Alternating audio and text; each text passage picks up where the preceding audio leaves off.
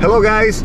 So Samantha and I, we were at the office and it's lunchtime and we just saw a new uh, soda that opened very close from our place and that's where we're going right now. We're gonna check the new soda. So let's go. A soda is a traditional Costa Rican restaurant. It's usually family owned, open air, a small restaurant, and they just have uh, local food. And usually they're only open for like breakfast, lunch, sometimes dinner. But if you want to try a traditional Costa Rican restaurant and Costa Rican food, then you have to go to a soda.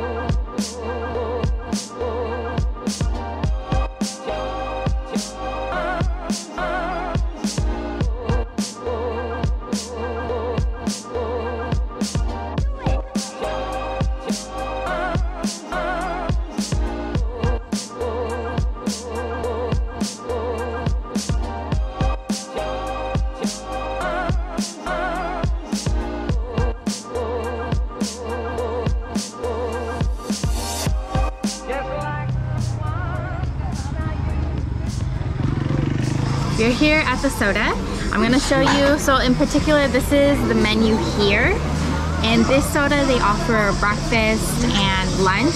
So here they have breakfast, in Spanish is desayunos. So if you ever want to try like the classic Costa Rican breakfast, that would be gallo pinto. So that's gallo pinto and you can add with like eggs and tortillas and meat and all that stuff. Um, Usually sodas are a good choice if you're traveling on a budget because typically it is cheaper than going to a restaurant in downtown or like in the touristic areas. So as you can see like here a breakfast is 2,000 colones and it has gallo pinto which is rice and beans, eggs, cheese, and sausage and bread and that's actually really good because that's a little less than $4. And then for other options it looks like they also have, um, you know, like snacks and appetizers.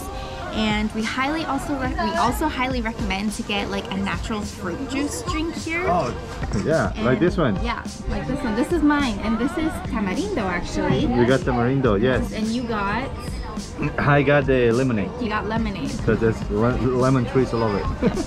So sodas usually have really good fruit juice. Um, I love the the tamarindo is a great option. Cas is another really good Costa Rican fruit if you want to try that one.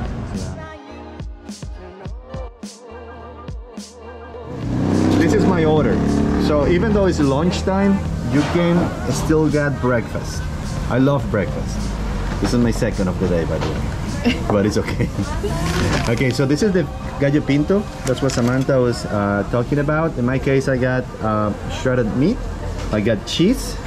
I got plantains, and everything is served in a corn tortilla, which is a very nice touch. It's a very nice touch. Babe, what you got? Okay, so I got a classic casado. In English, this word translates into married, but in Spanish, it is the name of this dish.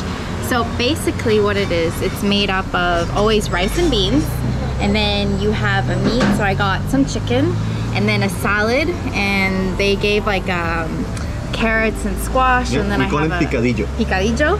And then I have like a normal green salad here and some fried plantains as well. So this is a very classic lunch or dinner. Yeah. Guys, a good tip, if you come to a soda, always ask for the chilera. This is like the house-made uh, ch- spicy. Yeah. It's super good and I mean, this is our favorite things to do. If you love spicy, then you have to try it. It's like pickled spicy vegetables. Can you explain to people what is this? Okay, so this is like um, what usually they would classify as like fast food or like a snack. So this is like a, it's an empanada.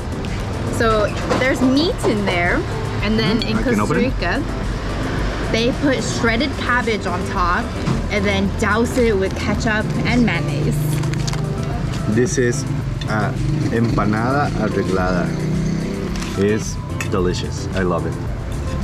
Just another quick tip. Whenever you see like uh, distribution trucks, you know, like the people who are working all day and you see them like park outside a soda, that means that it's good. So always look for places where you see a lot of cab drivers, bus drivers, or big trucks. They're always around, so they know they're good places. We just got our bill. It was around 7,000 colones, approximately around 12 US dollars. Um, this is Costa Rica money, it's very colorful. And yeah, so baby, what was your last thoughts about this place? It was very good. Definitely recommend it if you are uh, have never tried like Costa Rican food or been to a typical restaurant. This is a really good first experience and it's very affordable, especially if you are in Tamarindo and looking for a cheaper option for food. Yeah guys, so I hope you guys have the chance to visit a soda if you come to Costa Rica. It's not like super fancy places, but everything is clean and you will uh, definitely have a very Costa Rican experience. So thank you for watching and see you guys in the next one.